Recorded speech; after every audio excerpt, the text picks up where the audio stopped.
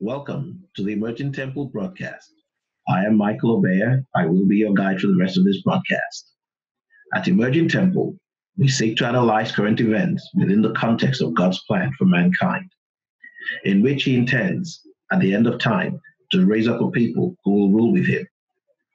Before I go any further, I want to encourage you to like our page, to subscribe to our channel, and if there is a notification bell icon, I would like you to hit that bell so you can be notified anytime we upload new videos. I want to encourage you to like this page so that we can develop the number of likes that we have so that we can come up in the rankings because we have a message that is critical for this um, this time. So thank you so much for those of you who are already doing so. If you'd like to support our ministry, you can visit our website at templeoftruth.us. That's www.templeoftruth.us or you can go to patreon.com and look for our handle, Emerging Temple. Um, today, we're discussing a very short book, book, the Book of Ruth. But before we go into the Book of Ruth, I wanted to find out if anybody had any dreams or visions or anything that they would like to share with the group before we get started. I haven't been dreaming lately, so it's like I go to bed and, and go dead. okay. How about you, Liz? Uh, just kind of the week. I, you know, I being more active, being back to work, and um, you know, just remembering that sometimes in your work you have to be tough with people and, you know, I'm working with some homeless women right now, and I just have to tell them, I'm sorry if you don't like the place, but, you know, women cannot be on the street. And nobody's handing you out a penthouse at the Hilton, so get over it. you're going to have to stay at this place and go to the prayer meetings and go to all the other meetings and start figuring your life out. And if you do the program, you'll figure your life out. But if you want to sit here and whine, you're going to end up on the street, and you know that's your choice. Do you want to stay and make your life better, or you want to go back on the street until you figure it out? That women don't belong on the street, and it's really hard to say that to somebody when they're having a hard time. But you know they can't come to my house. Well, it is the truth. Well, it's and, kind of. Know, go ahead. Go ahead. Oh, but but I think you know this Bible study has helped me because, you know, Jesus says, you know, if you want to walk on water, get out here and walk on the water. And when you start sinking, that's because you're of little faith. And, you know, um, who wants to be out there walking on the water? It's kind of scary. And but you know, I, I, you know, like my, I was talking to my son, and he said that's one of the first things they teach you in life saving is if a person wants help, you throw them the little lifesaver, or you hold out a pole to them. But if the water's deeper than you are tall, you can't get in there because, and, and they're bigger than you. They'll just drown you, and it's very hard to have to say to somebody who's really upset, you know, well, you know, now is the time to start dealing with your problems. And the only way you're going to deal with them is turn them over to God. But these ladies just love to hug those problems to themselves and put it in a sack on their back and carry it along. Because they're yes. sure their way, their way is the best way. I said, if your way is the best way, then how come you're in the situation you're in? You know, they're always telling, I don't like this and I don't like that. I know. I said, you know what? When you're starving enough, you'll eat those Brussels sprouts. Yes. You know, they're always, I don't like this and I don't like that and I'm this and I. Well, you know what? I bet there's a whole lot of starving people in the world that don't know if they're gluten or they're whatever or they're whatever. and when you've got yourself to the place where you're living on the street and you're in an unsafe condition, you can't say I don't like what's for dinner. Well, then go get a job and buy food for this place so that the people have better food for you. Yes, but it's it is hard, and and I I don't Well, know. I think Everybody, also, uh, Liz, sometimes people that have been down several times uh, and do get a hand up, they get this attitude of entitlement. And Yes, that's they why they complain so much. Yep. Well, if Belly has joined us. She's muted out in Oh, the cool. background. So she must have background noise, but um, welcome, Belly. Hi, That- Belly. Hi, That- Belly. We're just talking about, um, Sorry, I'm, um, I'm in a really noisy place, so I have to mute it. no problem. Yeah. Uh, So I'll we're back on mute if I'm on the road. Okay, no problem. Okay. Okay.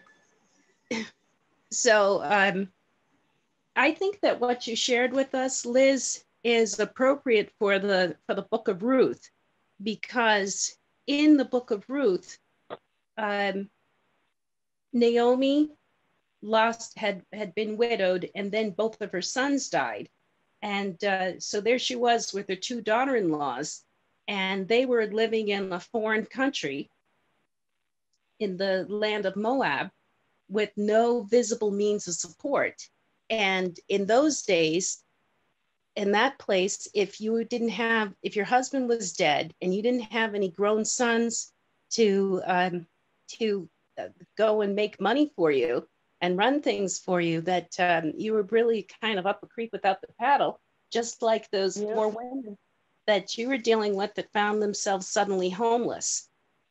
Yeah. So, so um, I don't know. With that in mind, the the book of Ruth is really about um, Christ in the church, which is what most of the Bible is is about. And Boaz is the um, kinsman redeemer, and Ruth symbolizes the church. So I don't know if anybody would like to share with us what they got out of reading the book of Ruth. I know, Mom, you thought we were reading Judges, but I know that you know the story of the book of Ruth very well. Well, I used to.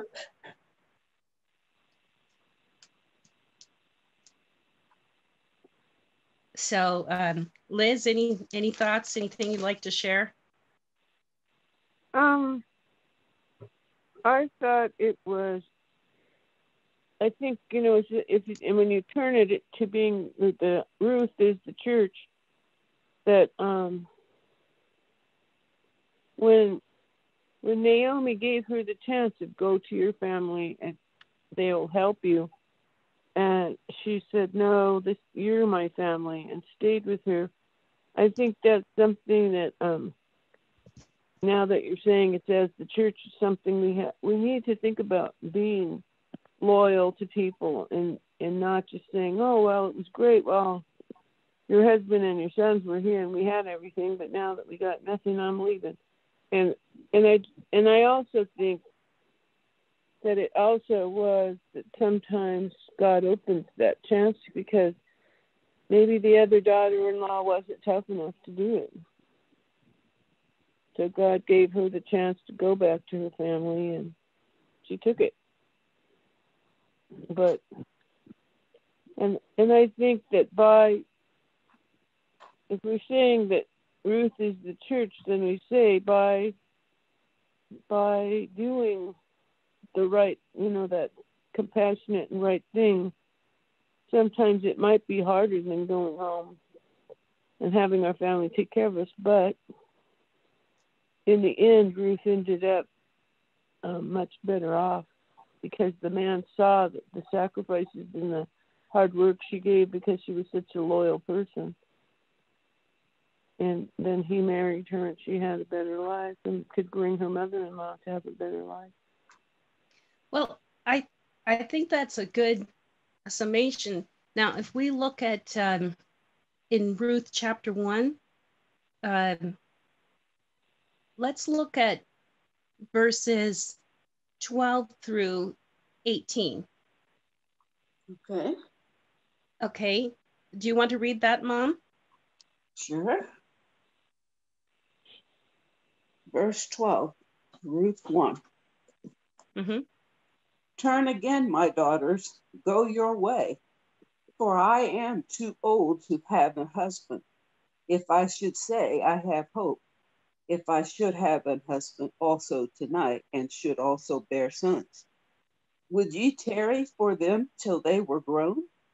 Would ye stay for them from having husbands? Nay, my daughters, for it grieveth me much for your sakes that the hand of the Lord is gone out against me. And they lifted up their voice and wept again. And Oprah kissed her mother in law, but Ruth clave unto her. And she said, Behold, thy sister in law is gone back unto her people and unto her gods. Return thou after thy sister in law. And Ruth said, I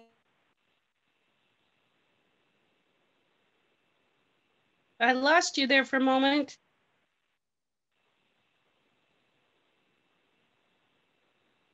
Are you there? Is anybody there?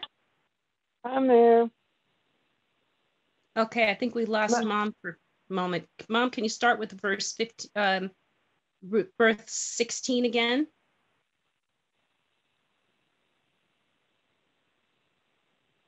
Okay, I'm thinking she must have lost her internet.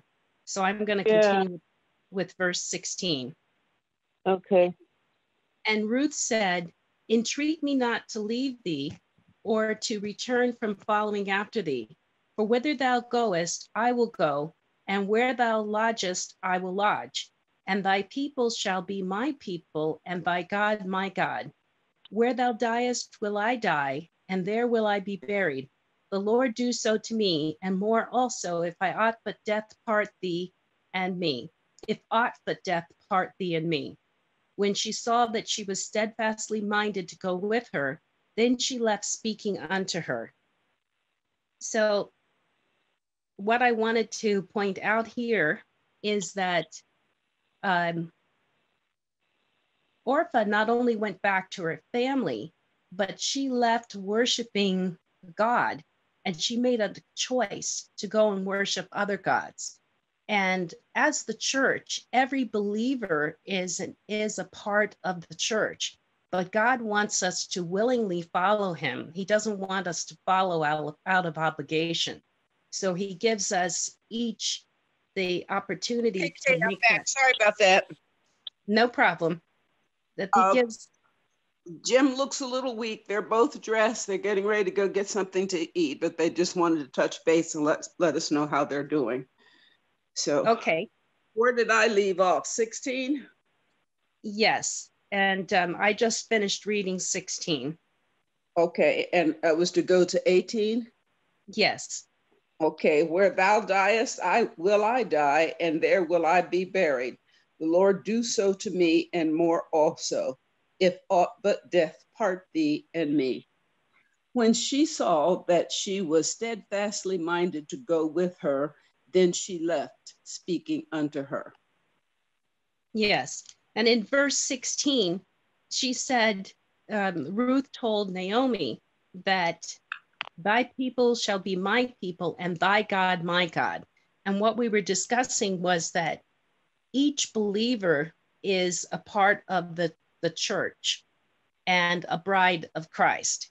And each of God wants each of us to come to him willingly and not out of obligation. So when Orpha decided to go back to her family, she didn't just go back to her family. She went back to serve her other to serve her other gods. So she didn't make the choice to serve God. She chose to go another way. Oh, that's not good. And each of us, as um, as a member of the body of the Christ, each of us are the church, and each of us has to make a choice. Are we going to serve other gods, and are or are we going to serve God? And um, anytime that it looks like we're not willing to serve Him anymore, He gives us that choice. We don't have to. Yeah, we find out how how lonely it is without him.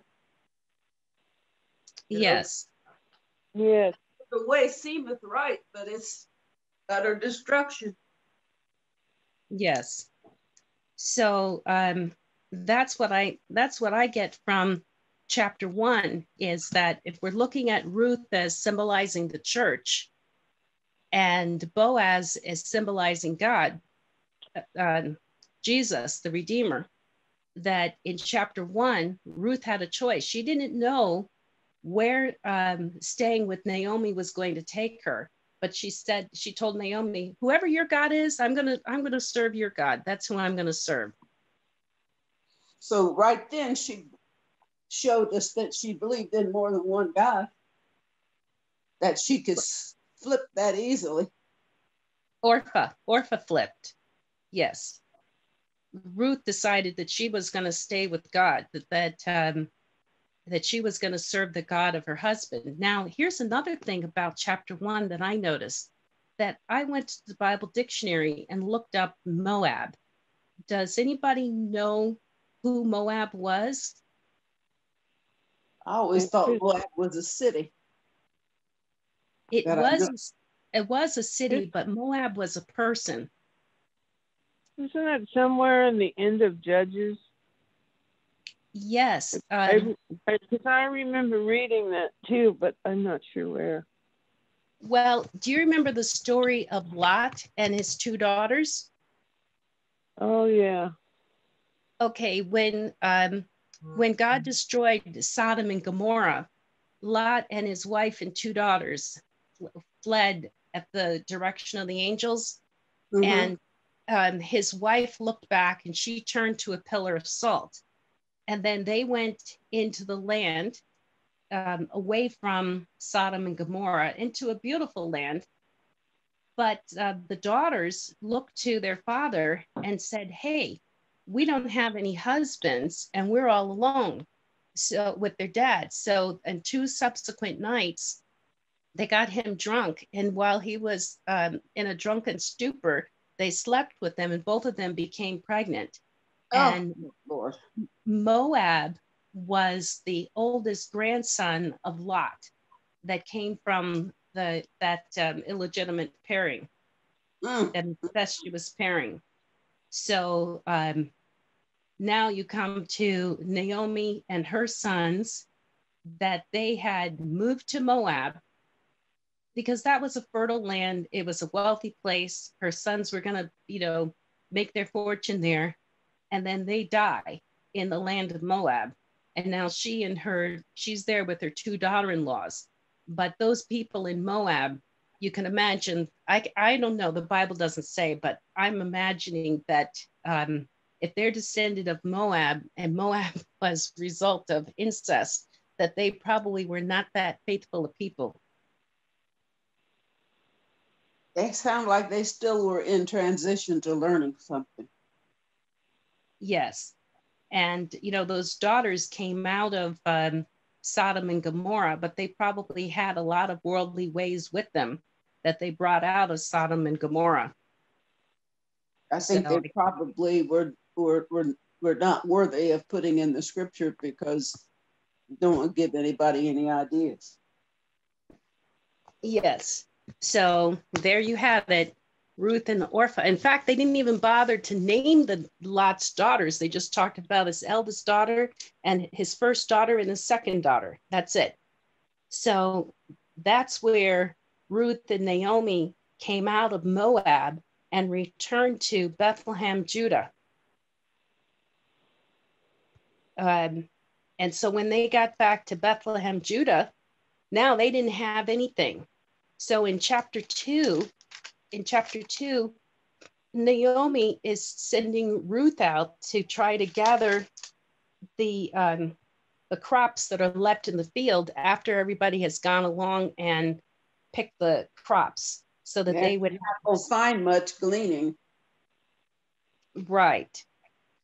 But you noticed, if you noticed in chapter two, that um, Boaz uh, noticed Ruth gleaning, and um, he told people to leave some extra stuff. Like, let's look at Ruth chapter 2. Um, okay, Ruth chapter 2, verses 15 through 18. Liz, can you read that for us? Yes.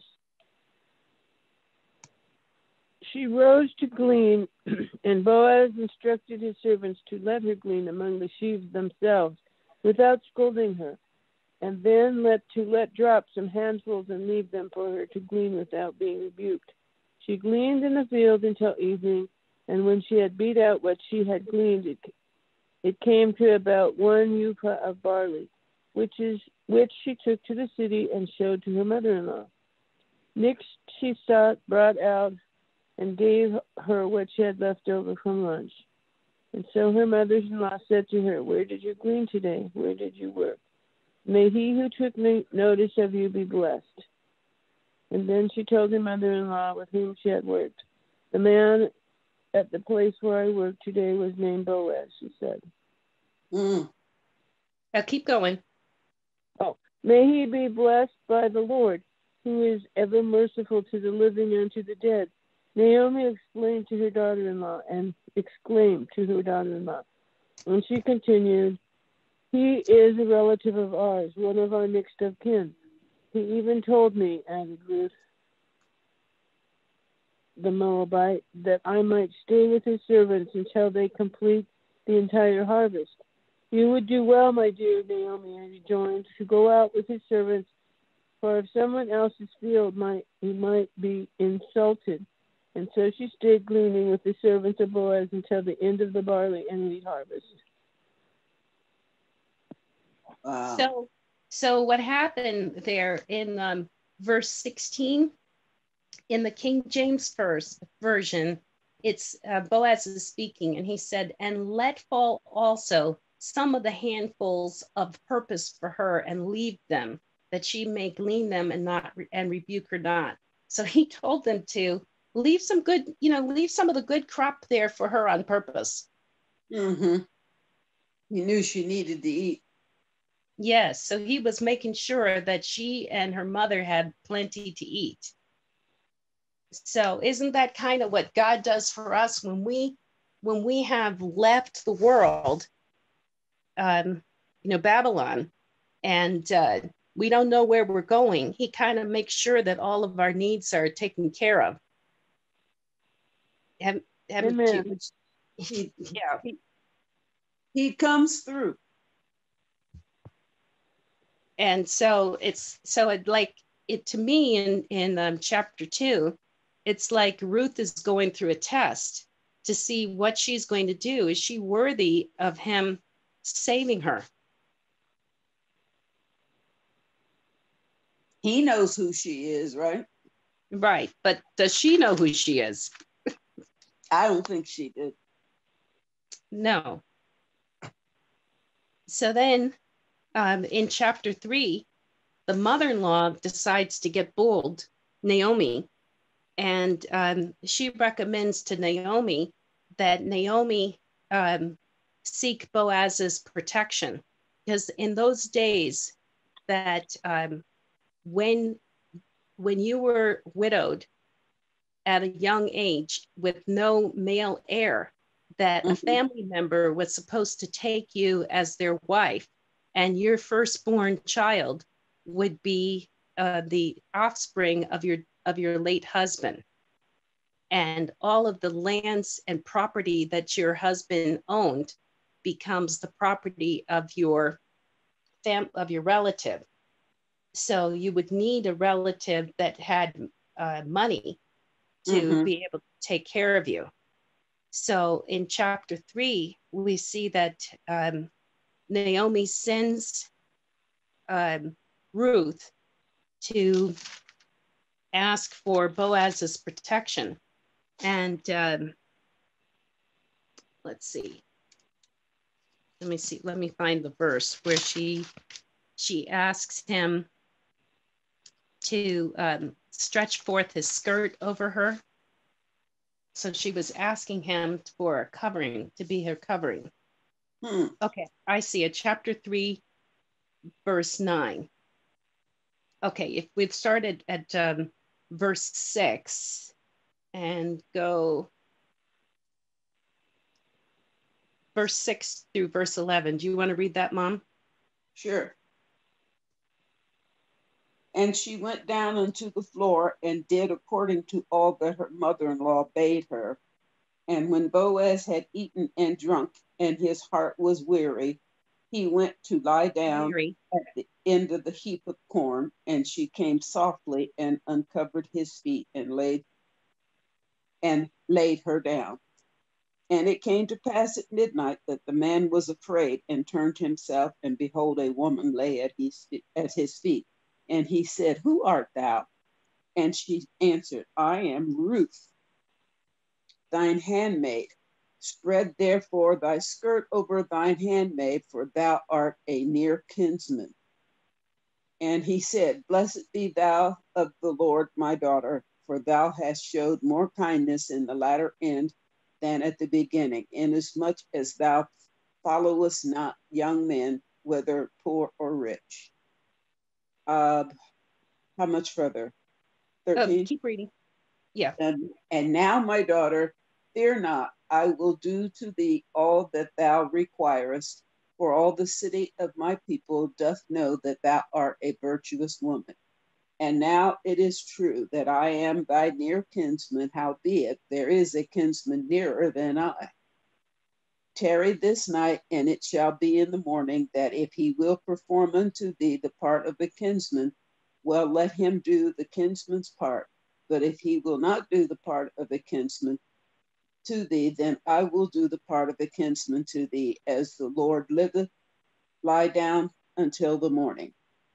And continue to verse 14. And she lay at his feet until the morning, and she rose up before one could know another. And he said, Let it not be known that a woman came into the floor. Okay, so we see here that unlike Lot's daughters who took advantage of him while he was drunk, that Ruth didn't take advantage of Boaz. Yeah, she got some honor for that. Yes. So um, that's why I said to me that um, she was being tested in chapter two and chapter three. And now he's decided, okay, she's worthy of him to um, redeem her. Um, Liz, do you have anything to that? Any thoughts on this? Um, well, I think it actually is in the next chapter, but I think Ruth proves herself. I mean, then, you know, because he says to her um, later on, when he says to her, You didn't go chasing the young men, rich or poor. You you did the honorable thing and took care of took care of Naomi in in like an honest way. Cause, and so then it, I think that shows that Ruth was, um, you know, she wasn't playing games like you said. She wasn't playing game like the two daughters of Lot. She was just open and honest about things. And I think if we're saying that Ruth is the church, I think that's a very clear message to the church that we need to be open and honest. Mm. We can't try and trick people into I mean, if it's the church, we can't try and trick people into following God or believing God. We have to be open and honest about what is there. Yeah, and what people what people risk and what people give up, you know. Right. And I think I think um like mom pointed out, um the person like those daughters of Lot, they if they come from a background that says let's it's okay to do it the wrong way and they do it the wrong way, then the family that grows from them follows a pathway that's not correct and and righteous and and so Boaz could see in Ruth that she she did do the right thing, not just what was most expedient for herself. And yes, and then it must tell us that as we go along, the fruit of that church is going to be a better type of person and have a closer relationship to God because they're worried about and they're thinking about what God wants, not just what they need. Yeah, and I think when we speak of the church, we got to remember that the church is you and I. That Right. um, it's it's not really the church as a corporal collective body, but it's more thinking of the church as you, as mom, as me. Because when we go out into the world, we're the only church that the world sees. They may never set um, set feet inside the four walls of a sanctuary, but we are the living temple of God.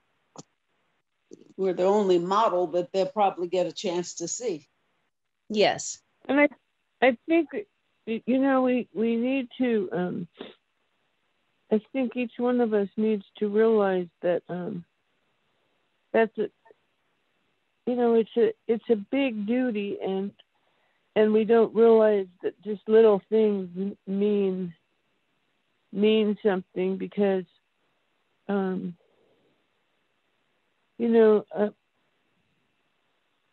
if we like if if we just say we litter, no matter where we go, we just throw the stuff out the car. Who cares? And you know, we get home from work and stop at the curb and throw all our stuff in the gutter because we don't want to have to take it in, leave it in our car, or take it in our garage, and you know, so we we take the easy way out, let somebody else take care of it.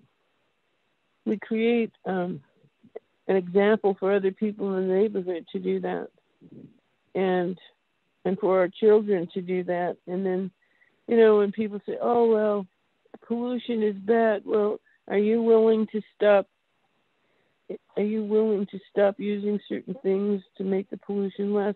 And all the things, and if if you found out that the food you're eating is coming from where they're cutting down the rainforest and using child labor, would you give up your Christmas meal and say, well, I guess I'm going to have a different Christmas meal because I have to give up all these foods because they come from the company that's doing that?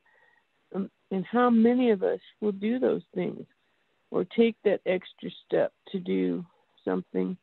And I think that's what Ruth shows us when she, as figuratively she's the church she goes out and picks up those little grains until she has enough food for herself and her mother-in-law and you know Yeah, i think I the think- church meaning each one of us in ourselves how much are you willing to do? Are you going to go pick up those little grains and do something with them to serve god? Or are you just going to say no i don't need to do that.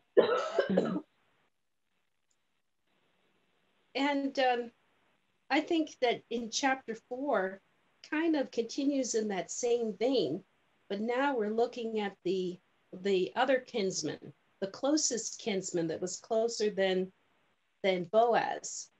Um, right uh,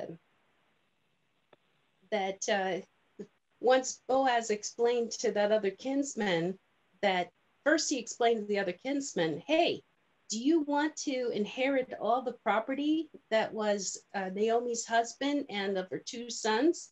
And the guy says, yeah, yeah, yeah, I'd like that. And That I'll buy it. And he says, oh, well, one more thing. If you buy it, you also get um, you also get Ruth, the dead guy's wife. And he says, no, no, no, no. I- Oh, Thank you. Yeah no, thanks. I, that that's gonna mess me up. Shall we read that part so people at home can can see that?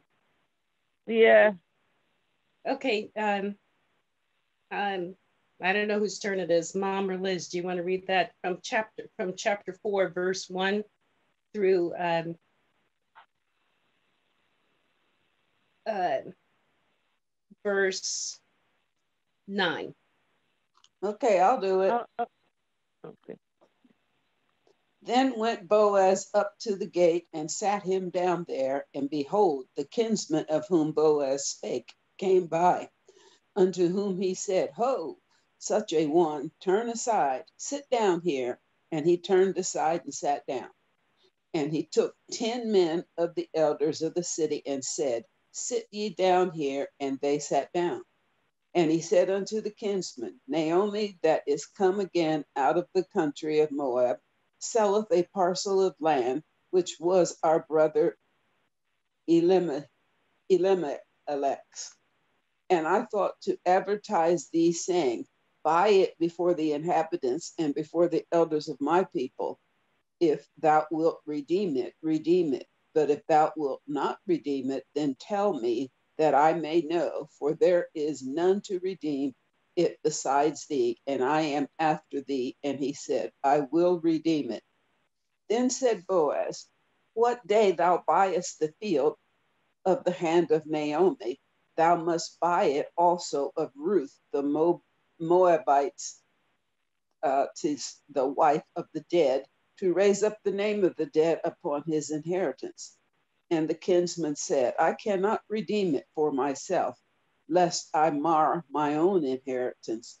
Redeem thou my right to thyself, for I cannot redeem it.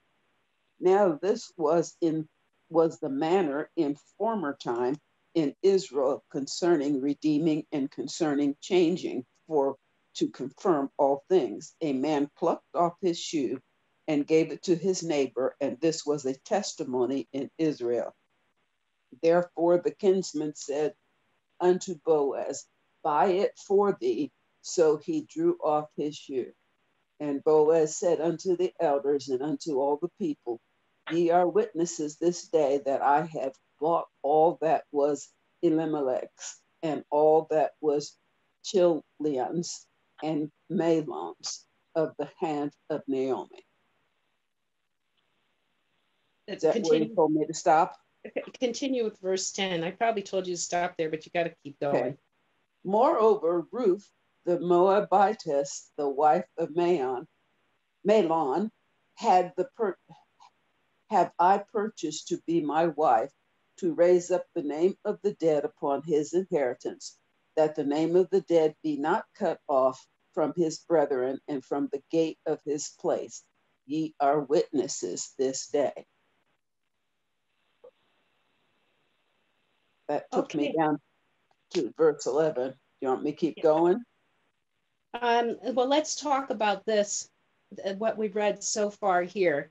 So okay. uh, the thing is that there are, you know, the, the Bible says there are many gods, there are lords many, um, there are lords many and gods few. That um, so she had a choice of another lord that was the nearest kinsman but that kinsman wasn't willing to sacrifice for her. He knew he the whole story. He knew the whole story. It was like, oh, no, no, no, no, no, no, no, no, no. I want the land, but I, I don't want the responsibility of the wife too. That's just too much. Not that wife. Not what? Not that wife. Uh-uh. I'm not taking her. I don't care how virtuous she says she says she is, but that's just too much. That that's just too much trouble for me. I'm amazed that he felt he had the right to choose because it well, looked like he was almost being forced to do it. Well, he was honor bound to take her, but since um, Boaz had said, Look, if you don't want to take on the responsibility, I'll take on the responsibility because it wasn't just about buying the land. You think about it, that if he had to buy three properties, 3 mm-hmm. And that means paying, I don't know if they had to pay taxes then, probably paying taxes, maintenance, um, caring for all the people that live on the property. That that's a big, huge responsibility, which he was willing to take that. But when you throw in there, I got to take the wife to be my wife too. No way. He wasn't doing that. Think he had his heart set on somebody else, or he just didn't want that history? He didn't want that. I think he probably didn't want that history. He probably also had another wife who um, probably would have given him grief if he had taken an, another, a foreign wife. Now, you know how we are. It'd be, it'd be grief for sure.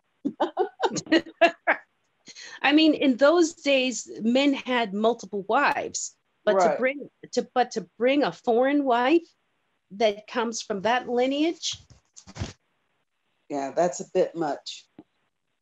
that I I don't know. I think his wife would have given him hell, or his wives, however many wives he had, they they would not have been for that at all. Well, when I read it, I, I, I was foreshadowing her in the midst of several wives and That's what I'm saying. being able to fit in. She probably couldn't. She probably could not. So now, if we read, what about you, Liz? What do you think? Um, I think if we if we take it back to the idea that Ruth is the church, Mm-hmm. um, and that Boaz is the redeemer, even though there may be another person who um, has has responsibility to redeem, um, they they they don't want that they don't want that responsibility, and so they set it down. And if and ha- and if we think about that as being um, a different um, if we talk about ourselves inside ourselves, so that if um, the Redeemer comes to us and says, "This is this is what needs to be done," and we say, "No, I don't think so. It's too much trouble for me." We have the freedom to do that, and and yet the redeem the Redeemer will you know, if we have our faith and keep our faith, the Redeemer is there, and we will choose the right, the right place, or the right place will choose us.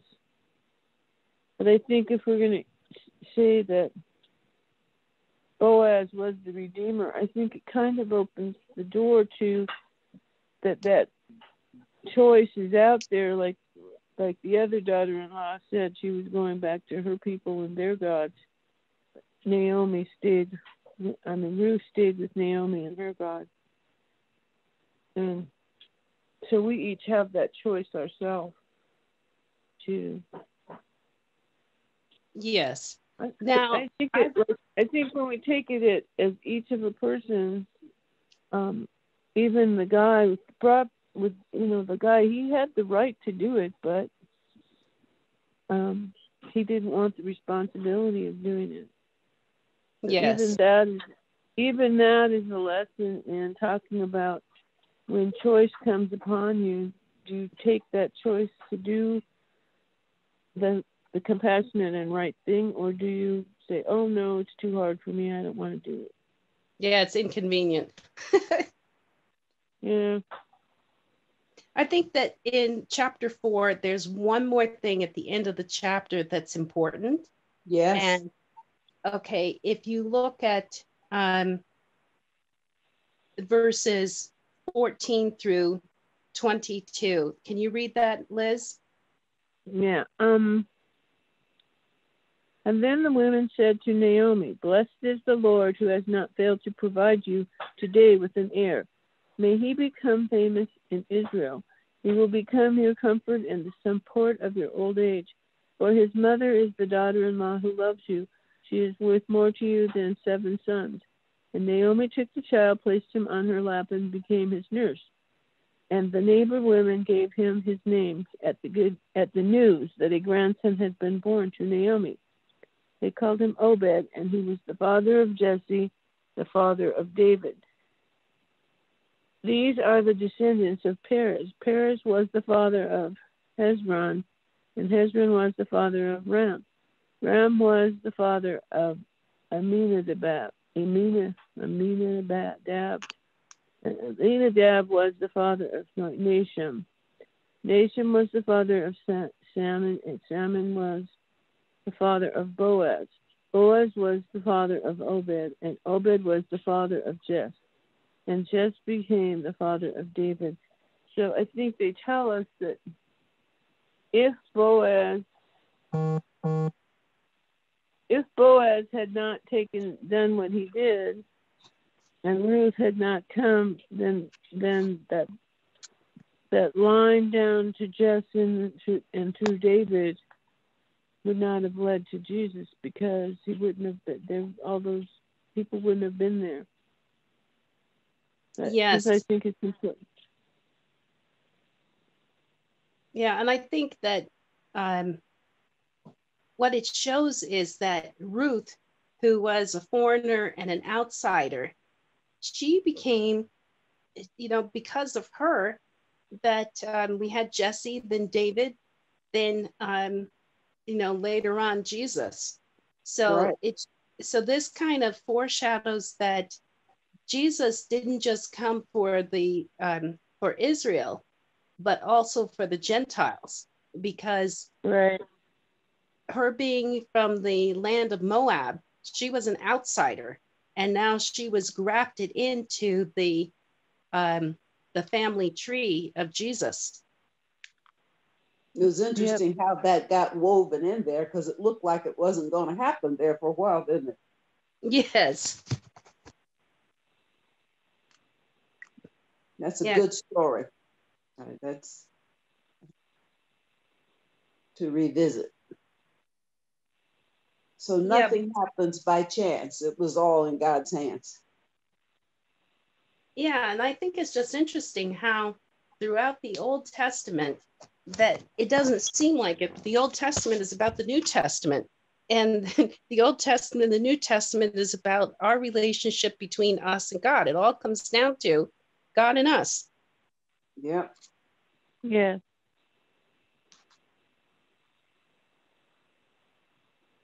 So, and I guess, uh, like you said, it didn't look there for a while. It didn't look like this was going to happen. And, uh, but, you know, that's what we're told even in Revelation that in the end, we win. Amen. So it doesn't matter what it looks like right now, that um, whatever's going on, whatever we see, that's just, uh, that's just a momentary flash but we have choices to make along the way. We can be like Ophar and decide to turn back and worship another God.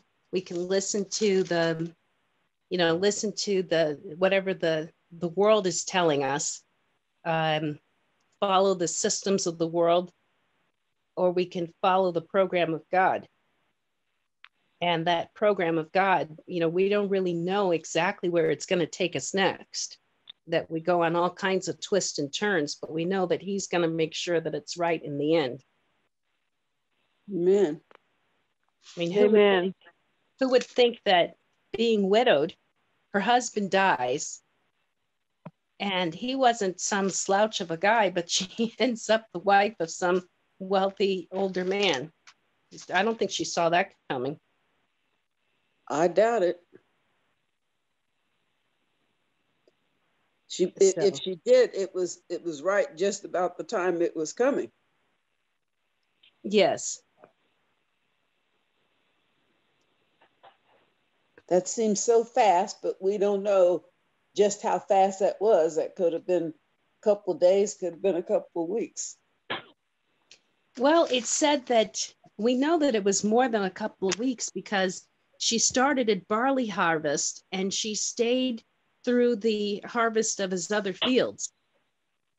Now, I don't know in harvest, you know, how long it is from barley harvest to wheat harvest and however however many harvests there are in between, but um, isn't wheat one of the last things that's harvested before the the end of the growing season? I think so. Yeah, because I know up here on the mountain that they harvested the last of the wheat not too long ago, and now they've got it wrapped in plastic for winter. Now they didn't have plastic to wrap their wheat in for winter, They but just uh, wrapped it in, in stalks and let them stand, and the outside stalks protected what was inside. Yeah, because in um, chapter two, verse twenty-three, it says, "Amen." Amen. Amen. So, sh- so she kept fast by the maidens of Boaz to glean until the end of barley harvest and of wheat harvest, and dwelt with her mother-in-law. So she was there for a while. And those harvests can be three months long or more. Yes, and um, I don't know anything about harvesting barley. I don't even know. I, I wouldn't even recognize a field of barley if I saw it. I know what barley looks like when it's in the supermarket. Yeah, me too. those grains, most of those grains look alike uh, when when they're growing. That they'll get to be 12, 14 inches tall, and the grain is at the top of the stalk. Yeah, so I I don't know. I mean, I know that straw uh, like up here, strawberries come first. That's the first harvest, and then you know it's several months later before the wheat is brought in. But I don't know about barley, how long it is. So we know it was at least a few months. Well, not everybody grows barley, so you don't get to see it much as much of it. I only know what they use it for now. If they just sell it for us to eat or if they feed it to animals, I don't know. Your dad would know. He's Yeah, I guess- Yeah, we'd have to ask him. I know they use barley in soup. Yes, I I buy it for soup. Yeah. So that's about it. Well, does anybody have anything else they want to share?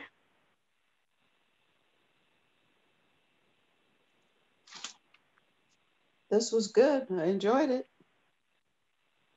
I'm sure Brother Mike would have taken us some other places, but um, he he can always write us in the chat room. Do you think do you think he's listening today? Um, no, he's. I can see that he's not listening, but I'll post the broadcast like I always do.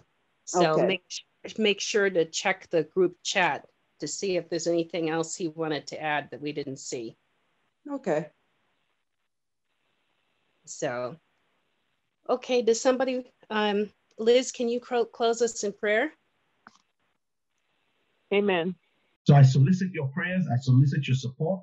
Okay, I want to thank you for your time. For those of you who have been faithful, you know, uh, supporting this work, for being involved, sharing these videos. Okay, don't be, don't, don't, don't get weary. Don't be weary. Don't get tired. Your strength is supposed to come brighter and brighter every day. Okay, keep pressing on. Share these videos with your family and friends. Start watch parties on Facebook. Over this video so your friends and family can discuss it. Okay? And continue to write us. Write me through facebook. Write me through you know the, the comment section here on youtube. Okay? So i want to encourage you. Thank you so much for the way you've been supporting us. Thanks so much for all that you've been doing. We really appreciate it. Remember what i said if you want to continue listening to us via audio you can always go. Okay to our website you can see the online radio channels that you can get us through. Like I mentioned, um, Apple's iTunes, I met Apple iTunes, I mentioned um, Spotify, and I think Google. You can also, you know, the other platforms also through which you can hear us through audio. Okay, I want to encourage you to subscribe to our channel and to, you know, hit the like buttons, hit the like buttons. I can't say that enough. Every time you watch these videos through YouTube, hit the like buttons. Now, if you're watching through Facebook or you're watching through some other medium like WhatsApp, it's not going to show here, so you won't able to see a like. But if you're watching through YouTube, I want to encourage you, or Facebook, wherever it is, I want to encourage you, hit that like button. Okay, hit that like button. It matters to us. Okay, thank you so much for your support. Thank you so much for everything that you've been doing. You know, by watching our videos.